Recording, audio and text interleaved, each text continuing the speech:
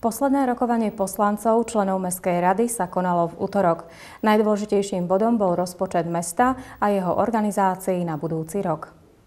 Na rokovanie o budúcoročnom rozpočte boli pozvaní okrem vedúcich odborov Mestského úradu aj riaditeľia technických a záhradníckých služieb a Mestského kultúrneho strediska, či náčelník a ekonómovia ďalších organizácií, ktorých rozpočty sú úzko naviazané na ten meský.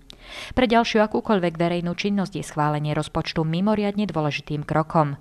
O jeho definitívnej podobe bude ešte rozhodovať posledné tohtoročné pracovné zastupiteľstvo 13. decembra.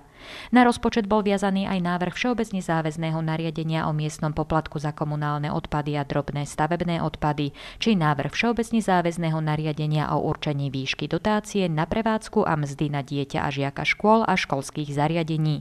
Hlavná kontrolórka predložila výsledky svojich kontrol a vedúci odboru hospodárenia s majetkom pripravil na rokovanie rady majetkoprávne záležitosti.